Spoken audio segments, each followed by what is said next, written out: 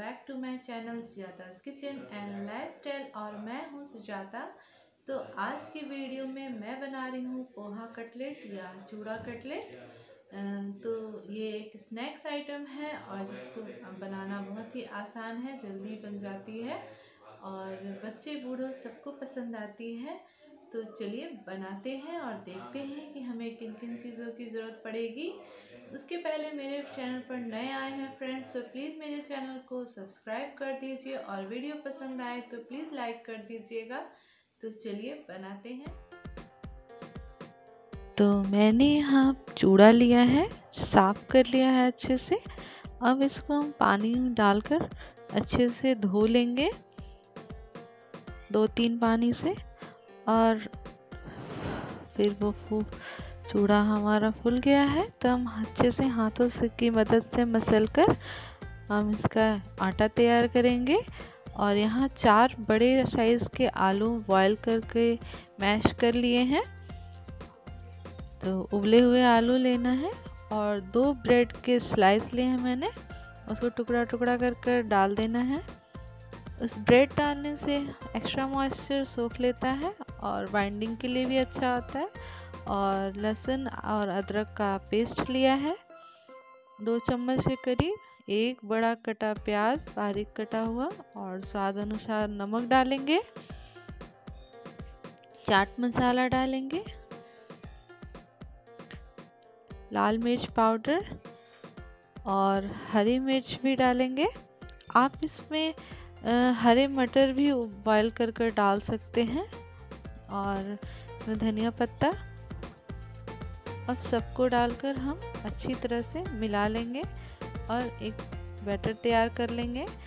देखिए, ये बन चुका है। अब हम इसको अच्छे से भीगे हुए हाथों से, हाथ को थोड़ा सा पानी से भिंगा लेंगे और अच्छे से इसको मन चाह सेप दे सकते हैं आप, जैसे हार्ट सेप या कटलेट का जो नॉर्मल सेप होता है।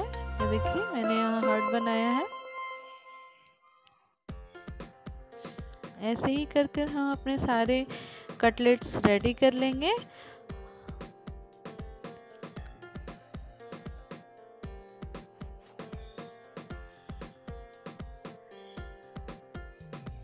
देखिए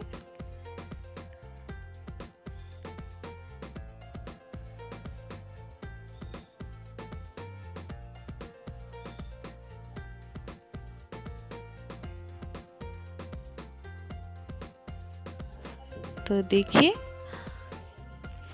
हमारे कटलेट्स रेडी हो चुके हैं। अब हम इसे फ्राई करेंगे। तो फ्राई करने के लिए हम मैंने यहाँ रिफाइंड ऑयल लिया है। रिफाइंड ऑयल को एकदम से गर्म होना चाहिए। हम पूरा फुल आँच में हम इसको तलेंगे एकदम गर्म तेल में। अगर हम थोड़ा ठंडे तेल में डालेंगे तो ये बिखर जाते हैं। इसलिए पूरे गर्म तेल में हम इसको डालेंगे। और गोल्डन ब्राउन होने तक इसको तलेंगे और छेड़छाड़ नहीं करेंगे, इसको बार बार पलटना नहीं है। जब ऊपर से हम देख लेंगे कि ऊपर से कलर, ऊपर से भी कलर अगर चेंज हो जाता है कटलेट्स के, तभी इसको पलटेंगे। नहीं तो नहीं पलटेंगे, नहीं तो ये टूट जाते हैं।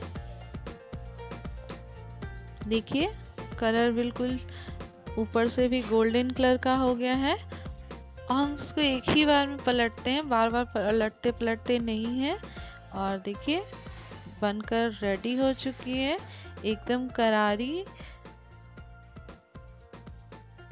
ऐसे ही हम अपने सारे कटलेट्स रेडी कर लेंगे।